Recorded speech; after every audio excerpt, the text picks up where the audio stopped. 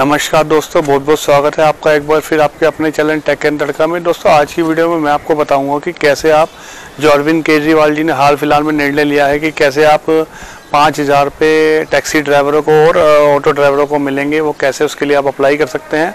तो इस वीडियो में आपको पूरा प्रोसेस दिखाऊँगा लाइव। उसके लिए जो डॉक्यूमेंट्स चाहिए, वो आपको एक बार बता दूँ, वो आपके पास होने बहुत ज़रूरी हैं। जो कि पाँच या छह चीज़ें हैं, जिसके लिए आपको एक ड्राइविंग लाइसेंस सबसे पहले आपको चाहिए होगा और दूसरा आपको चाहिए होगा पीएसवी बैच जो कि टैक्सी और ऑटो के लिए चाहिए होता है, वो आपके पास होगा। और तीसरा आपको एक date of proof birth proof चाहिए और चौथा आपको मोबाइल नंबर चाहिए, पाँचवा आपको चाहिए एक Aadhaar card Aadhaar card mandatory है, उसके बिना आपके अकाउंट में पैसे नहीं आएँगे और पाँचवा आपको एक छठा सॉरी छठा आपको एक चाहिए बैंक अकाउंट जिसमें आपका अकाउंट हो आप ही के नाम से। और दोस्तों, इसके लिए अप्लाई कैसे करना है मैं आपको बता दूँ, आपको लाइव दिखाऊँगा, अपने कंप्यूटर पे चलते हैं। उससे पहले दोस्तों, एक प्यारी सी रिक्वेस्ट है, वीडियो पसंद आ रही वीडियो को लाइक ज़रूर कीजिएगा चैनल को सब्सक्राइब कीजिएगा, ताकि और लोगों की मदद हो सके। तो आइए चलते हैं कंप्यूटर की स्क्रीन पर, मैं आपको दिखाता हूँ कैसे आपको ये अप्लाई करना है। तो चलिए चलते हैं। तो दोस्तों, आ गए हैं हम अपने कंप्यूटर की स्क्रीन पर, मैं आपको बताऊँगा कि कैसे इसको अप्लाई करना है। तो आपको चले आना है इस वेबसाइट पे, जिसका लिंक मैं आपको डिस्क्रिप्शन में दे दूँगा। या फिर आप दिल्ली गवर्नमेंट की वेबसाइट से अप्लाई कर सकते हैं। यहाँ पे आप देखेंगे, मैं बताऊँगा आपको क्या क्या डॉक्यूमेंट्स के लिए चाहिए। तो पहले आपको सबसे पहले इसमें चाहिए होगा ड्राइविंग लाइसेंस आपका जो ड्राइविंग लाइसेंस है, उसका नंबर और पीएसवी बैच का number mobile number date of birth proof आपका और आपका जेंडर और आधार कार्ड नंबर ये पाँच या छः चीज़ आपको चाहिए होंगी। उसके बाद आपको नीचे क्लिक हेयर पे नीचे ऑप्शन आ रहा है, वहाँ पे क्लिक करना है। यहाँ पे क्लिक करने के बाद आपके सामने दो ऑप्शन मांगेंगे। एक मांगेगा आपका ड्राइविंग लाइसेंस नंबर एक मांगेगा बैच नंबर तो ड्राइविंग लाइसेंस नंबर आप यहाँ डाल देंगे। दोस्तों बैच नंबर वो होता है जो आपके कमर्शियल व्हीकल के लिए बनता है। जैसे टैक्सी और उसको चलाने के लिए बैच अप्लाई होता है। लाइसेंस के बाद होता है, उसे बैच नंबर कहते हैं। वो यहाँ पे आप बैच नंबर डाल देंगे। इसे भी एक तरह का लाइफ टाइम लाइसेंस कहते हैं। तो यहाँ पे हम बैच नंबर डाल देते हैं। कुछ डिटेल मैं इसमें हाइड रखूँगा ताकि इसका कुछ मिसयूज़ ना हो पाए। तो मैं अपना बैच नंबर आपको नहीं दिखा सकता। सिर्फ़ मैं आपको तरीका बता सकता हूँ, आपको ऐसे अप्लाई करना है जैसे मैंने किसी का करा है। तो यहाँ बैच नंबर डाल के सबमिट पर क्लिक कर देंगे।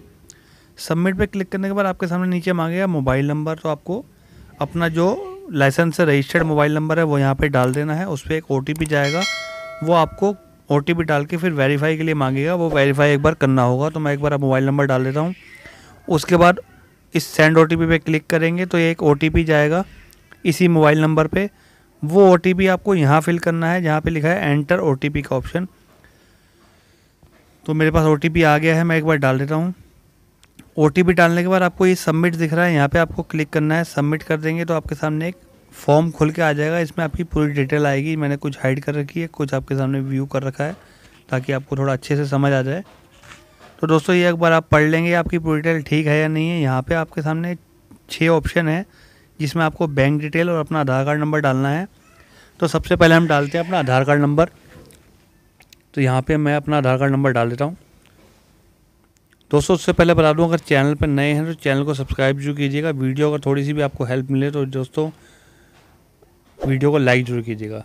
ये हमने आधार कार्ड नंबर डाल दिया है। ऊपर एरर आ रहा है। Aadhaar card number not valid इसका मैं आपको बताता हूँ, आधार कार्ड नंबर अगर आपका नोट वैलिड आता है तो आपको आधार कार्ड नंबर कब डालना है? तो पहले हम सेलेक्ट करेंगे जेंडर उसके बाद हम सेलेक्ट करेंगे डेट ऑफ़ बर्थ जिस तरीके से मैं करूँगा, उस तरीके से आपका आधार कार्ड नंबर इनवैलिड नहीं आएगा। आधार कार्ड की डेट ऑफ़ बर्थ यहाँ डाल देंगे। तो पहले हम सन सेलेक्ट करेंगे, उसके बाद मंथ करेंगे, उसके बाद डेट करेंगे। तो उस तरीके से मैं कर देता हूँ। ये हमने डेट ऑफ़ बर्थ सेलेक्ट कर दी है। जैसा कि मैं आपको दिखा रहा हूँ, मैंने थोड़ा मंथ गलत कर दिया था। सेवन्थ मंथ है। ये ये कर दिया। उसके बाद सेकंड डेट दो तारीख, उसके बाद डेट ऑफ़ बर्थ सेलेक्ट होगी उसके बाद आप यहाँ डालेंगे अपना बैंक नेम जिस भी बैंक में आपका अकाउंट होगा, जिस बैंक में आप पाँच हज़ार रुपये आने चाहते हैं कि उस बैंक में मेरे पाँच हज़ार रुपये आ जाएँ, वो आपके नाम से ही अकाउंट होना चाहिए। जिस भी बैंक में नाम है, उस बैंक का यहाँ पे नाम डाल दीजिए। उसी बैंक का यहाँ आई कोड डाल दीजिए। आईएफएससी कोड मैंने आपको पहले ही बताया था कि कहाँ पे होता है। मैं एक बार आपको दिखा रहा हूँ। ये जो चेक में आ रहा है, ये ऊपर आपका आईएफएससी कोड है। तो ये देख के एक बार आप आई एफ़ कोड डाल देंगे यहाँ पे। उसके बाद लेफ़्ट हैंड पे आपके सामने ऑप्शन आएगा अकाउंट नंबर का। तो आप यहाँ अकाउंट नंबर डाल देंगे, जो आपकी चेक पे ही लिखा होता है। नहीं तो आप पासबुक पे देख सकते हैं कि आपका अकाउंट नंबर आपको पता ही होगा। ये सारी डिटेल डालने के बाद आपको लास्ट में आधार कार्ड नंबर डालना है। तब आपका इनवैलिड नहीं आएगा, मैं आपको दिखा देता हूँ। ये यहाँ पे हम आधार कार्ड नंबर डाल देंगे एक बार। आधार कार्ड नंबर, ये सारी डिटेल सर बिल्कुल सही डालनी है दोस्तों आपको, नहीं तो आपका इनवैलिड हो जाएगा। ये सारी प्रक्रिया, सारी आपकी मैथ ख़राब हो जाएगी। ये डालने के बाद आपको सबमिट पर क्लिक करना है तो आपके सामने देखिए, नया फॉर्म ओपन हो गया पूरा। ये आप लास्ट ऑप्शन हमारा, इसके बाद हमने करना है, नीचे आके टिक मार्क क्लिक करके नेक्स्ट करना है। बताया तो आपको, ये सारी आपकी डिटेल एक बार चेक कर लें, सही है या नहीं। कुछ भी सही ना हो तो आप बैक करके चेक कर सकते हैं, ठीक कर सकते हैं इसको। नीचे बैक का ऑप्शन भी आ रहा है। क्लिक करेंगे तो ये बैक का ऑप्शन सबमिट में चेंज हो जाएगा और सबमिट कर देंगे। तो आप देखेंगे, आप their application has been submit successfully तो आपके पास कुछ जो गवर्नमेंट का प्रोसीजर है, उस प्रोसीजर में आपके पास पेमेंट आ जाएगी। तो दोस्तों, आशा करता हूँ कि आपको मेरे द्वारा दी गई जानकारी से संतुष्टि मिली होगी।